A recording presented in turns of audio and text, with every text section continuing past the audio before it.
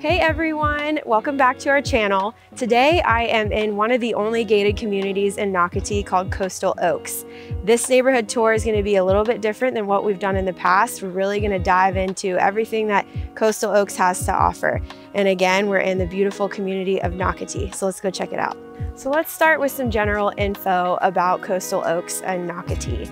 Nocatee is located in Northeast Florida in St. Johns County, in the northern part of St. Johns County in Ponte Vedra. It typically takes anywhere from 30 to 45 minutes to get to Nocatee depending on when you choose to commute. So in the morning during rush hour traffic for work and school could take you a little bit longer and then after work times could also take a little bit longer than say the middle of the day. Some might think that Nocatee is a little bit far removed from say Jacksonville Beach or downtown, but that's what a lot of the residents seem to enjoy about the area. You have everything at your fingertips here with multiple amenity centers, multiple pools, and a full Nocatee Town Center with really everything you can imagine. Coastal Oaks is actually really centrally located to all of those things, which is great for you if this is a neighborhood that you choose to be in you have the Coastal Oaks amenities that you are able to utilize, or you're just really steps away from the town center and some of the pools. Once you pull up to the neighborhood, you'll notice that Coastal Oaks is a gated community. Now, with that said, Coastal Oaks is one of the few neighborhoods in Nocatee that has a gated community such as Del Webb. The gate here is manned by an actual security guard, so that is also great. As with most communities in Nocatee, you can expect Coastal Oaks to have an HOA and a CDD fee. In here, they do pay their HOAs quarterly, so it ranges about $200 a month, and it is a little bit higher than what you can expect in some other communities, but that is because there is that manned guard gate. And along with that, you have a beautiful clubhouse with a fitness center, there's a pool, there's multiple sports fields here, dog park, tennis court, volleyball court. Really, there's so many options in this neighborhood, so it does make it worth it. And along with the CDD fee, that does give you access to the amenities within Nocatee as well. You might be curious to know what it feels like to live in Coastal Oaks on a daily basis. And I can tell you being here right now at around 11 a.m., there's tons of people walking their dogs and walking for exercise.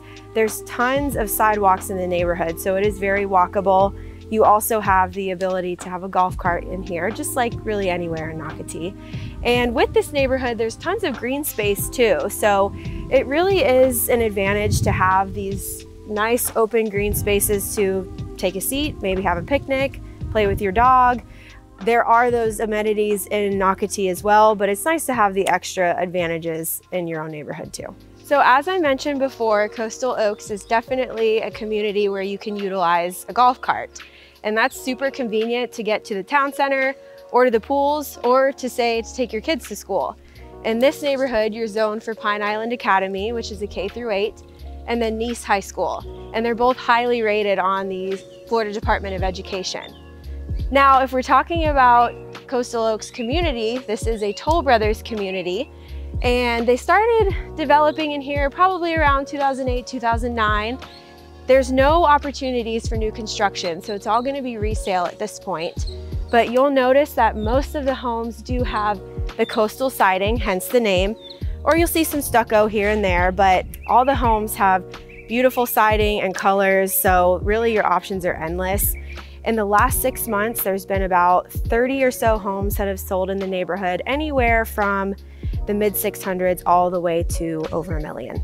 The last thing we want to touch on is the preserve and nature in coastal oaks. So as a whole, Nocatee has dedicated around 5,000 acres towards preserve and trails. And you can hike these trails by foot or by bike or even with your golf cart.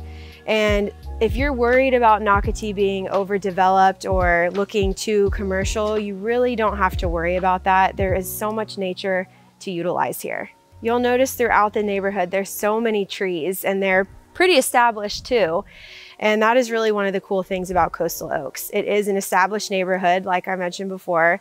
So there's not gonna be a lot of new construction trucks in here and all that, but you do have the dedication to the nature as well. And I will say that if that is something that is important to you, then Coastal Oaks might be a good option for you. All right, so that wraps up our neighborhood tour of Coastal Oaks. I hope you found it helpful. Keep in mind that it might not be every day that you see a home come up for sale in here that checks off all your boxes, but if this neighborhood is one that you're interested in, feel free to email us at info at theroccogroup.com so you can stay up to date on new listings. And we'll see you in the next one.